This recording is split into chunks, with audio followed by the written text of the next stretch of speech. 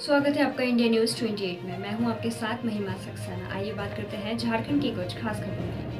झारखंड के साहिबगंज में ज़मीन विवाद में मारपीट, एक की मौत, छह घायल। मुफस्सिल थाना क्षेत्र अंतर्गत लाल बथानी में ज़मीन विवाद में रविवार को हुई मारपीट में एक पक्ष के आधा दर्जन लोग घायल हो गए, जबकि वृद्ध की मौत हो गई। सूत्रों से मिली जानकारी के अनुसार, मौजा रामपुर में स्थित मोहम्मद सगीर की 45 बीघा ज़मीन में से पाँच बीघा में लगी गेहूँ व अन्य फ़सलों की हुई लूट का मुआयना करने के लिए उसके पिता नूरल होदा व अन्य खेत पर गए हुए थे, तभी दूसरे पक्ष के जमशेद अली, मोहम्मद कमर मोहम्मद सैजुल्लाह मोहम्मद नबी, नौशाद बबलू सादिक व जुबराज ने उन पर लाठी डंडे व हथियार से गोली चलाते हुए उन पर हमला बोल दिया। उन लोगों ने लाठी डंडों से मारपीट कर शफीक आलम 40 वर्ष, शमशीर अली 50 वर्ष, नैमुल हक 40 वर्ष रहमान 34 वर्ष, जियाउल हक मुजीबुररहमान 40 वर्ष व नूरुल हुदा को बुरी तरह जख्मी कर दिया। घायलों को इलाज के लिए सदर अस्पताल में भर्ती कराया गया, जहाँ इलाज के क्रम में नूरुल हुदा 60 वर्ष ने दम तोड़ दिया।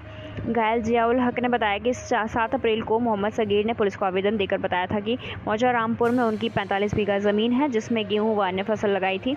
शुभनपुर निवासी सेजुर बबलू मजबूर व सादिक ने उनकी 25 बीघा ज़मीन में लगी गेहूँ की फ़सल में से पाँच बीघा में लगी गेहूँ की सहित अन्य फ़सल लूट ली है। मुफसल थाना प्रभारी सौरभ कुमार ने बताया। साहिबगंज से ब्यूरो चीफ उज्ज्वल सिंह की रिपोर्ट।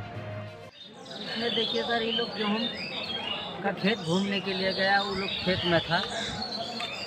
वो लोग खेत में था ये लोग गया घूमने के लिए इसी में लाठी गोली भाला चला दिया। कौन लोग?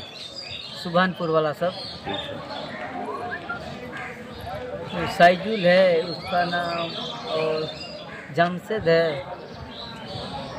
सत्तार है बबलू है यही सब सब कितने लोग घायल हुए? इसे यही सब पूरा मिल के ये लोग मारपीट स्टार्ट कर दिया गोलीबारी भी किया।